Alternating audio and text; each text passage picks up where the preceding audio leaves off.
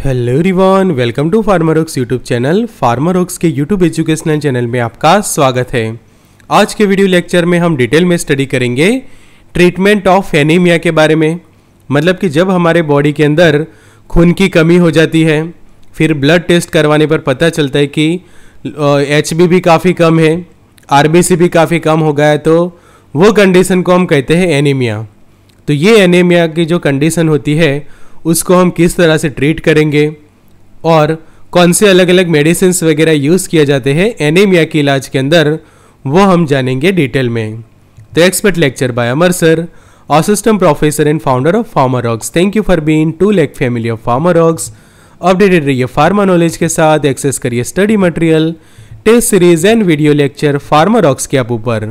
तो अगर आपके पास एंड्रॉयड फ़ोन है तो एंड्रॉयड आप डाउनलोड करें आईफोन यूज़र ऐप स्टोर से डाउनलोड करें। लिंक आपको डिस्क्रिप्शन बॉक्स के अंदर मिल जाएगी।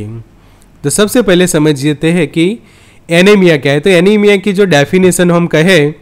तो एनीमिया मतलब कि low number of red blood cell कि आपके बॉडी के अंदर आरबीसी जो है वो कम हो जाते हैं जिसको हम कहते हैं रेड ब्लड सेल और आरबीसी की मात्रा कम होने के कारण जो रेडनेस जो है वो कम हो जाती है आपके बॉडी के अंदर। काफ़ी फीकापन देखने को मिलता है। तो यहाँ पे देखो दो हथेलियाँ है कि ये है नंबर वन और ये है नंबर टू। तो ये जो हाथ है, वो कहेंगे हम एनेमिक है। बिकॉज़ यहाँ पे आप देखो, काफ़ी फीकापन देखने को मिल रहा है ये वाले ये वाले हाथ के अंदर। जबकि यहाँ पे आप देखो तो नॉर्मल बिकॉज़ यहाँ पे हमें देखने को मिल रही है रेडनेस काफ़ी अच्छी रेडनेस है हाथ के अंदर। भले एज हो चुकी है कि रिंकल्स वगैरह आपको देखने को मिल सकते हैं यहाँ पे हाथ के ऊपर। बट फिर भी प्रॉपर रेडनेस है नॉर्मल हैंड कह सकते हैं, जबकि एनीमिया के पेशेंट के अंदर आप देखो रेडनेस जो है वो गायब है। नो रेडनेस जबकि वहाँ पे थोड़ा येलो भी स्किन देखने को मिलती है बिकॉज़ खून की जो है वो काफ़ी कमी है। तो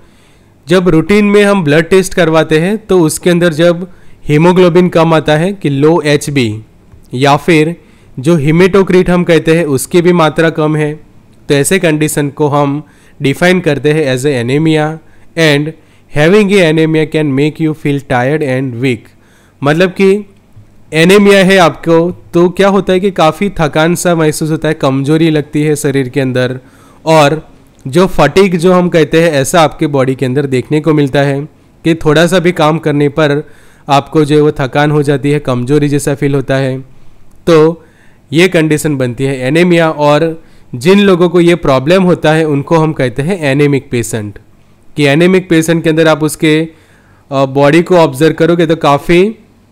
फीकापन देखने को मिलेगा कि there is no redness on body जबकि यहाँ पे प्रॉपर रेडनेस देखने को मिलेगा कि जब आपके बॉडी के अंदर आरबीसी भी अच्छी मात्रा में है हीमोग्लोबिन भी अच्छा है बिकॉज़ हीमोग्लोबिन जो है वो रेड कलर का पिगमेंट है कि जो हमारे ब्लड के अंदर प्रेजेंट है उसी के कारण ब्लड का जो कलर है वो लाल होता है। तो ब्लड जब कम हो जाता है मतलब कि एच बी डाउन हो जाता है तो जो रेडनेस जो है वो आपके चेहरे पर से या फिर आपकी बॉडी पर से गायब हो जाती है और ऐसे पेशेंट्स को हम कहते हैं एनेमिक पेशेंट तो जब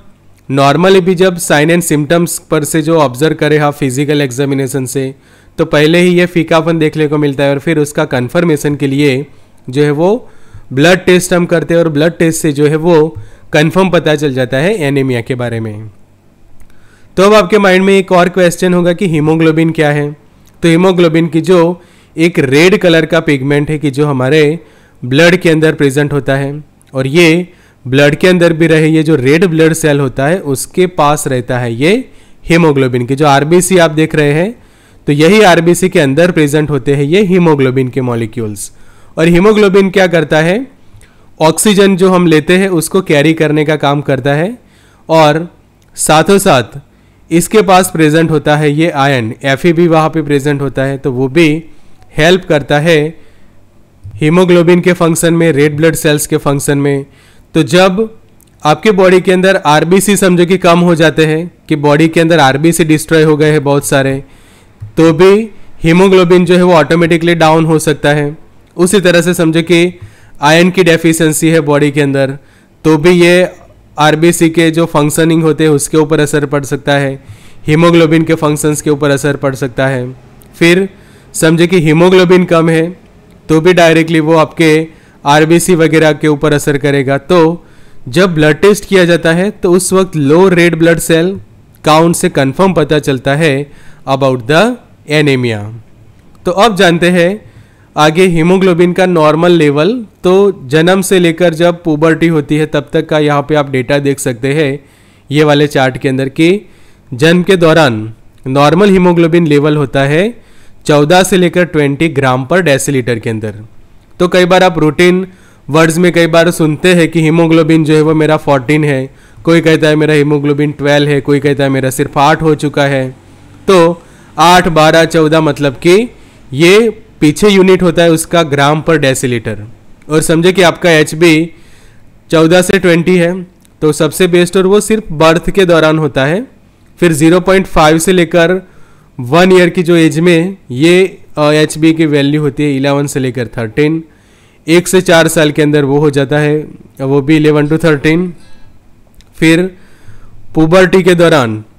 फोर ईयर से आगे जो पुबर्टी का जो पीरियड स्टार्ट होता है, उस वक्त भी 11 टू 13 फिर जो पुबर्टल फीमेल की प्रॉपर पुबर्टी के बाद फीमेल्स के अंदर ये वैल्यू होनी चाहिए 12 से 16 और मेल के अंदर होनी चाहिए वो वैल्यू 14 से 18 की, जो आपकी है नॉर्मल एचबी की वैल्यू एचबी के साथ कई बार ब्लड टेस्ट के अंदर एमसीवी के भी डेटाज होते हैं।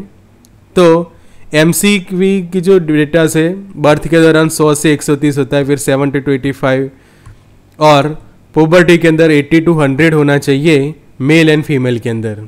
ये भी एक चार्ट बनता है कि नॉर्मल लेवल जो है, वो आपने सीख लिया बट एनीमिया कब कहेंगे कि जब एचबी जो है वो 10 से 12 हो रहा है वुमेन्स के अंदर तो वो माइल्ड एनीमिया हम कहेंगे। फिर 10 से 13 है पुरुषों के अंदर तो वो भी माइल्ड कहा जाएगा। मॉडरेट एनीमिया तो वो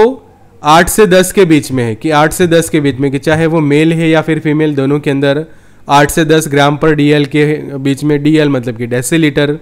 तो भी वो मॉडरेट कहेंगे बट सीवियर एनेमिया तब कहा जाएगा कि जब आठ या फिर उससे भी कम हो चुका है आपका हीमोग्लोबिन तो उस वक्त पेशेंट को जो है वो प्रॉपर ट्रीटमेंट देने की ज़रूरत है कि जब चाहे उसका बाइल्ड है मॉडरेट है या फिर सीवियर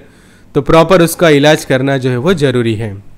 समझते हैं उसके सिम्टम्स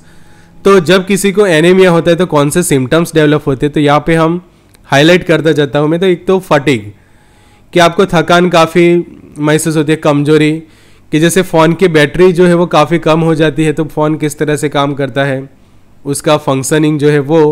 प्रॉपर नहीं होता, और जैसे ही बैटरी कम्प्लीटली ख़त्म हो जाती है, फ़ोन जो है वो बंद हो जाता है। उसी तरह से हमारे बॉडी के अंदर भी ये वीकनेस रहेगी, कमज़ोरी रहेगी, कि जब एचबी काफ़ी कम है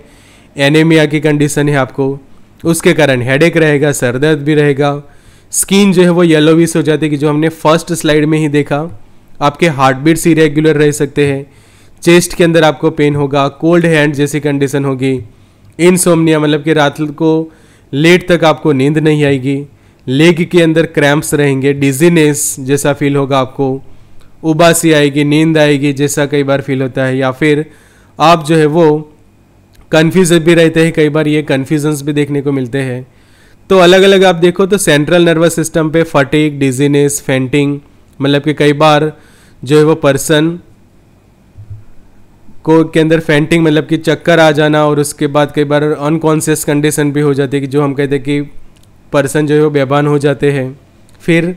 ब्लड वेसल्स जो है, वहाँ पे आप देखो तो ब्लड प्रेशर लो हो सकता है, उसके कारण हार्ट्स के अंदर पाल्पिटेशंस देखने को मिलेगी हार्ट बीट इंक्रीज हो सकते हैं या फिर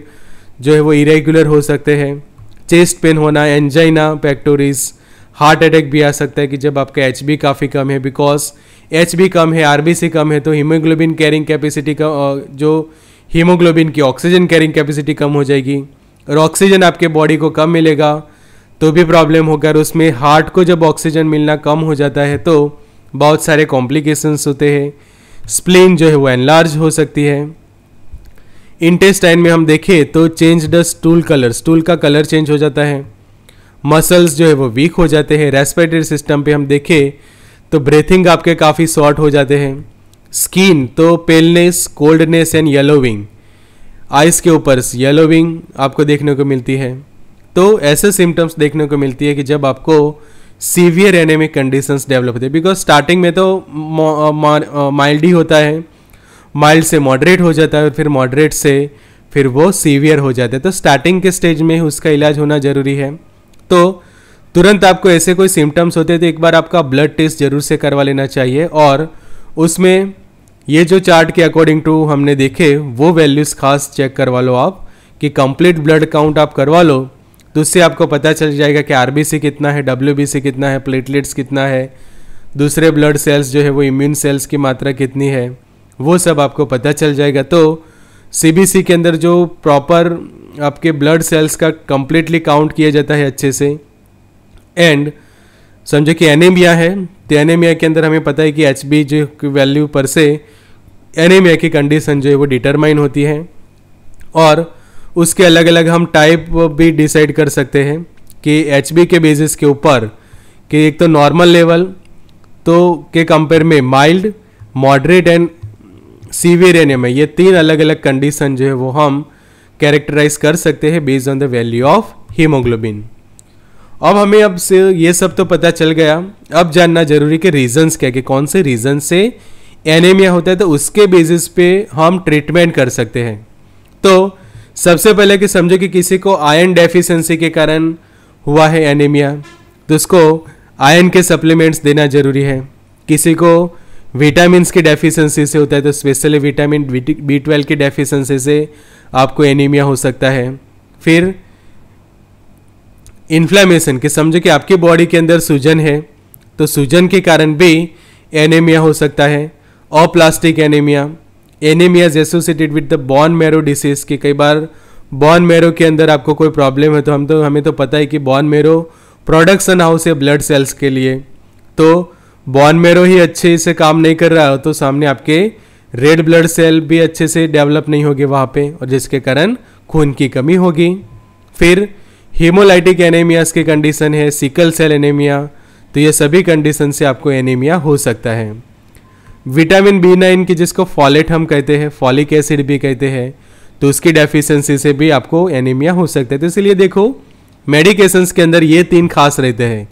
एक आयन रहता है विटामिन बी ट्वेल्व रहता है एंड फॉलेट को एज अ फॉलिक एसिड उसके अंदर ऐड किया होता है। तो iron folic acid plus vitamin B twelve के जो टैबलेट्स हैं, वो यूजली पेशेंट्स को दिए जाते हैं। फिर decrease blood cell production blood loss हो जाए कोई एक्सीडेंटली तो भी एनीमिया हो सकता है एंड रेड ब्लड सेल का डिस्ट्रिक्शन डिस्ट्रक्शन होना मतलब कि आपके आरबीसी जो है, वो ब्रेक हो रहे हैं। उनका डिस्ट्रक्शन हो रहा है, किसी तरह से वो डैमेज हो रहे हैं तो भी आपके बॉडी के अंदर खून की कमी होगी एच कम हो जाएगा। तो उसके प्रिवेंशन के लिए ज़रूरी है कि प्रॉपर आप ऐसे फ़ूड ले कि जिसके अंदर आयरन जो है वो काफ़ी अच्छी मात्रा में, कि जिसको हिंदी में हम लोह तत्व कहते हैं। तो ऐसा खाना लीजिए कि जिसके अंदर लोह तत्व अच्छे मात्रा में होता है तो यहाँ पे आप देख सकते हैं कि आप स्पिनच खा सकते हैं, फिर ब्रूसल्स स्प्राउट्स खा सकते हैं फिर बॉक चॉय ले सकते हैं कोलाड ग्रीन ले सकते हैं, फिर पम्प पम्पकिन सीड ले सकते हैं और इंडिया के अंदर यूजली जो हम खास कर लेते हैं तो टोमेटोज़ वगैरह ब्रोकले ले सकते हैं ग्रीन पीज़ आप खा सकते हैं ग्रीन बीन्स वगैरह होते हैं तो ये सब आप जो है वो ले सकते हैं कि जो आयन रिच फ्रूट कहे जाते हैं फॉलेट की जो न्यूट्रिएंट है कि जो हमें सिंथेटिक फॉर्म है फॉलिक एसिड का विटामिन बी ट्वेल्व जिस, जैसे फूड्स के अंदर होते हैं जैसे स्पेशली ये जो ग्रीन लिफी वेजिटेबल्स होते हैं, जितने भी, उसमें भी बी ट्वेल्व भी मिल जाता है। फिर जो सेरियल्स होते हैं सोए प्रोडक्ट्स होते हैं, उसमें भी हमें बी ट्वेल्व मिल जाता है डेयरी प्रोडक्ट्स के अंदर होता है मीट के अंदर, और विटामिन सी तो ऐसे फ़ूड के, जो उसके अंदर विटामिन सी हमें अच्छा मिल जाता है किसी को ऑरेंज है लेमन है तो वो भी आप ले सकते हैं कि जिससे विटामिन सी अच्छे से मिले, आंवला भी खा सकते हैं। अब बात करते हैं प्रॉपर मेडिकेशंस की। तो मेडिकेशंस के अंदर यूजली जो है वो डेली वन टैबलेट लेने होता है डेली वन तो यूजुअली आपको समझो कि ये वाला प्रिस्क्राइब किया हुआ है।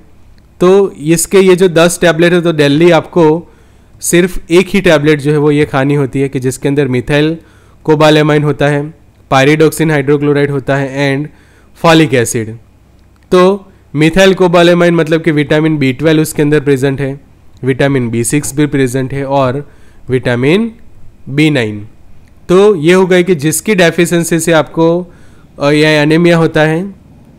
तो ये क्योर हो जाएगा। उसी तरह से देखो फॉलिक एसिड विथ आयन के टैबलेट तो ये भी प्रिस्क्राइब किया जाता है और यूजली पेशेंट जो है वो ये मेडिसिन जो है वो दिन में एक ही बार खाता है कि पॉसिबल हो तो उसको मॉर्निंग में ले सकता है या फिर वो नाइट में तो डेली एक ही टैबलेट लेने होते हैं कि जब तक आपकी खून की कमी जो है वो पूरी ना हो। उसी तरह से देखो गवर्नमेंट भी उसके कैंपेन्स चलाती है कि स्कूल के अंदर भी आपको पता होगा कि ये जो बच्चों को जो ब्लू कलर्स के जो पिल्स थे, वो दिए जाते हैं कि आयरन फॉलिक एसिड के जो टैबलेट्स होते हैं कि वीकली ये डोज दिया जाता है स्कूल्स के अंदर यूजली कि weekly iron and folic acid supplementation W I F S in India since year 2000 कि 2000 के साल से नेशनल हेल्थ मिशन या फिर नेशनल रूरल हेल्थ मिशन जो हम कहते हैं, एनआरएचएम तो उसके अंतर्गत ये अलग अलग प्रोग्राम्स चलते हैं और आयन फॉलिक एसिड के जो सप्लीमेंट्स जो है, वो स्कूल के अंदर बच्चों को दिए जाते हैं। तो हर हफ़्ते नीली गोली लेकर हम बने चुस्त से सुस्त। तो ये कैंपेन चलाती है तो इस तरह से आप देख सकते हैं आयन फॉलिक एसिड के टैबलेट्स आते हैं। और ये टाइप के, ये टैबलेट्स अवेलेबल होते हैं कि जो गवर्नमेंट ऑफ़ इंडिया ये कैंपेन चलाती है। तो ये इस तरह से ब्लू कलर की ये गोली होती है कि जो डायरेक्टली पानी के साथ ही आपको लेनी होती है। तो अब जानते हैं कुछ इसी के बारे में कि branding of I M A tablet I F A tablet as a blue W I F S I F A कि जो डब्ल्यू फॉर है weekly I for iron F for folic acid and S for supplementation की जिसका full form होता है W I F S कि जो हमारी भारत सरकार जो है वो ये कैंपेन चलाती है और ये टैबलेट जो है वो स्कूल और आंगनवाड़ी के साथ साथ जो हमारे प्राथमिक आरोग्य केंद्र है कम्युनिटी हेल्थ सेंटर्स वगैरह है, वहाँ पे भी मिल जाते हैं। And blue colour W I F S I F A to identify from other different type of I F A tablets कि आई एफ़ ए के तो बहुत सारे अलग अलग ब्रांड्स होते हैं बट ये जो सरकार जो कैंपेन चलाती है, उसकी अलग से एक इमेज तैयार हो और उसको आप आइडेंटिफाई कर सके आसानी से, इसीलिए उसका कलर जो है वो ब्लू कलर रखा हुआ आप देख सकते हैं। फिर हम ब्रांड्स देखते हैं कि समझो कि एनीमिया हुआ है तो दूसरे और कौन से मेडिकेशंस दिए जाते हैं कि समझो कि नॉर्मल आयन फॉलिक एसिड से भी ठीक नहीं हो रहा है तो दूसरे भी कुछ ऑप्शंस होते हैं कि जैसे कि फॉलिक एसिड के डायरेक्टली प्लेन टैबलेट्स भी कुछ लोग यूज़ करते हैं। कि जिसके अंदर सिर्फ़ फॉलिक एसिड रहता है और यूजली फाइव मिलीग्राम स्ट्रेंथ में रहता है और ये जो है वो पेशेंट डेली एक लेते हैं डेली वन टैबलेट एक से ज़्यादा टैबलेट नहीं लेने होते because five milligram per day enough रहता है। उसी तरह से जो फेरस सल्फेट के आते हैं फेरस ग्लूकोनेट के टैबलेट या फिर फेरस के जो डाइटरी सप्लीमेंट है वो भी आ, सिर्फ़ एक टैबलेट डेली वन पर यहाँ पे कंडीशन ये होती है कि समझे कि आप फॉलिक एसिड ले रहे हैं तो फिर फेरस सल्फेट लेने की ज़रूरत नहीं है और फेरस सल्फेट ले रहे हैं तो फॉलिक एसिड की ज़रूरत नहीं रहती। फिर फेरस ग्लूकोनेट ले रहे तो भी दूसरे मेडिकेशंस की ज़रूरत नहीं या फिर ये सभी आप यूज़ नहीं कर रहे हैं तो कई बार एनेमिक पेशेंट्स को इपोइटिन अल्फ़ा सिस्टेमिक इंजेक्शंस भी दिए जाते हैं कि यहाँ पे आप देख सकते हैं कि 2000 यूनिट रहते हैं उसके। या फिर कई बार उसको 2 के लिखा जाता है 2 के पर एम एल टू के यूनिट पर एम एल तो ये इंजेक्शन स्पेशली हॉस्पिटल यूज़ कर रहते हैं और यहाँ पे उसके प्रीफिल सीरीज़ भी अवेलेबल होते हैं कि जो 3000 इंटरनेशनल यूनिट के अंदर है। तो ये आपको प्रॉपर हेल्थ केयर प्रोवाइडर्स के सलाह के अनुसार लेते, लेने चाहिए। और ये इंजेक्शन तब दिया जाता है कि जब एचबी बहुत ही कम है, कि जो सीवियर एनेमिक पेशेंट होते हैं कि जिसका एच बी आठ या उससे भी कम है, या फिर एच बी सिर्फ़ पाँच हो चुका है छः हो चुका है, ऐसे कंडीशंस में इंजेक्शन हॉस्पिटलाइज पेशेंट्स को दिए जाते हैं। फिर जो समझे कि आपका एनीमिया माइल्ड है, या फिर मॉडरेट एनीमिया कंडीशन से तो ऐसे कंडीशन के अंदर ये सिरप से आसानी से क्योर हो जाता है कि pyridoxine hydrochloride vitamin B six oxymetholone या फिर मल्टीविटामिन विथ आयन तो पायरिडॉक्सिन्स के इंजेक्शंस कई बार दिए जाते हैं माइल्ड टू मॉडरेट के अंदर बट वो ज़रूरत पड़ने तभी, वरना आसानी से ये मल्टीविटामिन के जो टैबलेट होते हैं या फिर आयन कंटेनिंग जो मल्टीविटामिन सिरप्स होते हैं, उससे आसानी से आपका एनेमिक कंडीशन जो है वो ट्रीट हो जाता है। फिर दूसरा हम एक ऑप्शन है कि जो हॉस्पिटलाइज पेशेंट होते हैं यूजली कि एच बी समझे कि काफ़ी कम है कि लेस देन फाइव हो चुका है लेस देन सिक्स है less than seven less than eight इतना कम एच बी हो जाएगा कि पाँच छः सात, आठ या उससे भी कम एच बी है तो उस वक्त आपके पास ऑप्शन रहता है ये आयन डेक्सट्रान के इंजेक्शन का। An iron dextran injection is use to treat the iron deficiency anaemia in people who can not be treated with iron supplements taken by mouth कि जो अब तक हमने डिस्कस किया कि जो डमोया यूजली कुछ सिरप फॉर्म में अवेलेबल थी, कुछ टैबलेट्स वगैरह थी तो टैबलेट सिरप से ठीक नहीं हो रहा है तो फिर आपके पास ऑप्शन रहता है ये इंजेक्शंस का। तो ये इंजेक्शंस यूजली हॉस्पिटलाइज पेशेंट को दिया जाता है as a iron replacement therapy कि प्रॉपर आयन्स जो है उसके बॉडी के अंदर आयन जो है वो इंट्रोड्यूस किया जाता है और ये जो है वो प्रॉपर हेल्थ केयर प्रोवाइडर्स के सुपरविज़न के अंडर में ही हॉस्पिटल के यूज़ के लिए होता है। फिर आगे समझते हैं मेडिसिन कि समझे कि एनीमिया होने का रीज़न जो है वो आपका कोई कैंसर है। और उसमें भी ये जो मल्टीपल मायोलोमा की जो हम बात करते हैं कि this medication is use if the anaemia occurs due to the multiple myeloma a type of cancer तो ये वाला मेडिकेशन जो आप देख सकते हैं कि जो सिप्ला बनाती है लेनालिडोमाइड के जो कैप्सूल्स आते हैं 10 मिलीग्राम के स्ट्रेंथ के अंदर। तो कई बार क्या होता है कि ये जो मल्टीपल मायोलेमा होते हैं, कि एक टाइप का कैंसर है तो उस वक्त आपका एचबी कम हो जाता है। तो उस वक्त लेनालिडोमाइड के ये टैबलेट्स जो है वो प्रिस्क्राइब किए जाते हैं और लेनालिनोमाइड क्या करता है, आपके इम्यून सिस्टम के ऊपर स्पेशली असर करता है and it promote the immune response to help slow a tumour growth ये मेडिकेशन क्या करेगी? कोई एंटी कैंसर मेडिकेशन नहीं है बट ये मेडिकेशन क्या करेगी? आपके इम्यून रिस्पॉन्स ऐसे जनरेट करेगी कि जिससे ट्यूमर की जो ग्रोथ है वो हो जाएगी काफ़ी स्लो जो जो स्लो ग्रोथ हो जाएगी, जिसके कारण आगे जो है वो आप दूसरे मेडिकेशन से ट्रीट कर सकते हैं कैंसर को, कि जो एंटी कैंसर दवाइयाँ होती है। और उस वक्त एनीमिया हो तो एनीमिया की कंडीशंस भी आसानी से आप ट्रीट कर सकते हैं कि जब किसी को कैंसर होता है लैंडमीड के जो टैबलेट्स आते हैं use to treat the multiple myeloma bone marrow का एक कैंसर कहा जाता है उसको either in combination with other medications और आफ्टर स्टेम सेल ट्रांसप्लांट की जो स्टेम सेल ट्रांसप्लांट किया जाता है तो उसके मेडिकेशंस या फिर जो सिंपल डायरेक्टली भी ये विदाउट एनी कॉम्बिनेशन भी यूज़ किया जाता है, कि जब आपको खून की कमी हो जाती है आपके अंदर कैंसर के कारण। तो ये था हमारा special video lecture about the anaemia thank you for watching join कर सकते हैं व्हाट्सएप ग्रुप ये वाला व्हाट्सएप हेल्पलाइन नंबर है फार्मारॉक्स का. ज्वाइन कर सकते हैं स्टडी मटेरियल के लिए test series and video lecture के लिए फार्मारॉक्स के ऐप के अंदर. तो Android user Android app download करेंगे आईफोन यूज़र ऐप स्टोर से. लिंक आपको डिस्क्रिप्शन बॉक्स के अंदर मिल जाएगी. So good luck and all the best